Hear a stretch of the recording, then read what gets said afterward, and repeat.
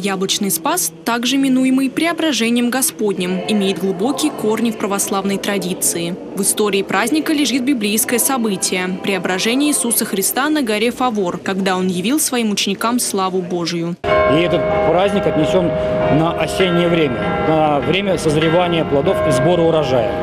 Приносили начатки винограда. Виноград, как вы знаете, участвует в Евхаристии, то есть вино, которое получается из винограда, оно необходимое э, вещество, которое нужно для совершения служб.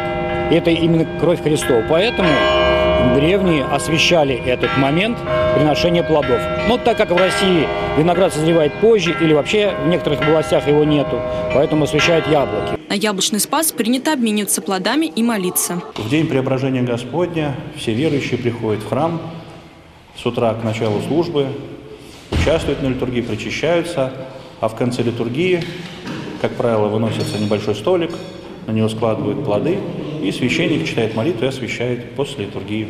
Благодарение Господу за все дары, которые Он нам и яблоки, и сливы, и все, что дается и выращивается людьми. Освящение это еще больше как бы соединяет небесное и земное. И поэтому для нас очень полный праздник – и мы радость, радостью этой готовы делиться со всеми. Яблочный спас – это время, наполненное не только духовными размышлениями, но и народными приметами. Например, существует поверье, что если в этот день угостить родных и друзей яблоками, то весь год будет удачным и счастливым. Августина Охременко, Валерий Майоров. События.